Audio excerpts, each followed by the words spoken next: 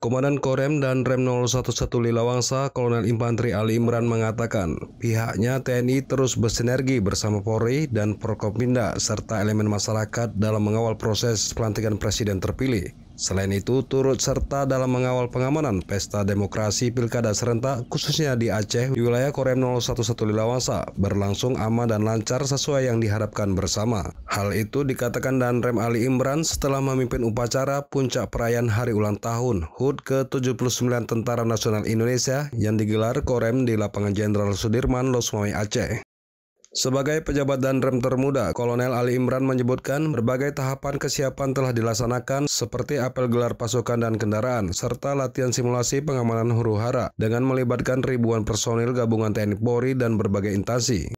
Menurutnya di usia ke-79 tahun TNI saat ini diharapkan cita-cita semangat dan tujuan TNI sebagai prajurit profesional, responsif, integratif, modern, dan adaptif dalam menjaga dan mengawal kelangsungan hidup bangsa dan negara. Sesuai tema TNI modern bersama rakyat, siap mengawal suksesi kepemimpinan nasional untuk Indonesia maju.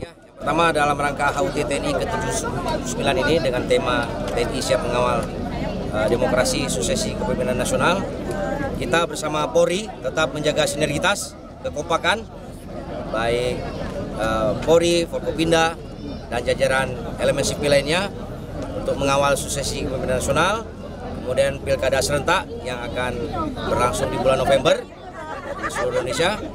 Lalu kita juga uh, dalam HUT yang itu ini diharapkan semakin profesional, ya, modern, responsif, dan dicintai oleh rakyat.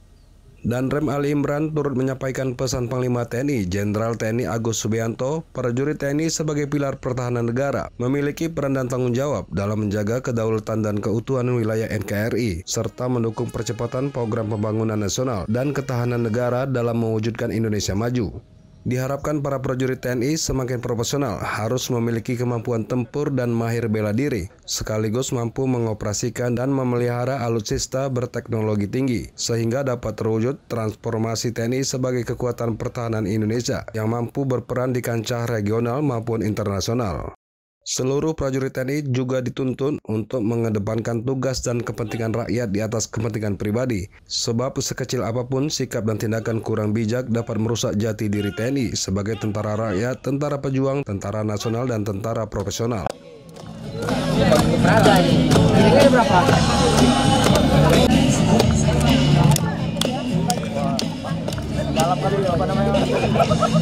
Kamera satu, dua, Siap.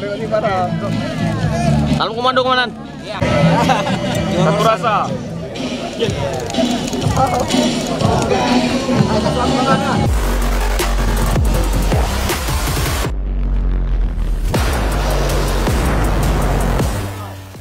Ikuti terus perkembangan informasi selanjutnya, tetap semangat dan selalu bersyukur serta jangan lupa untuk bahagia.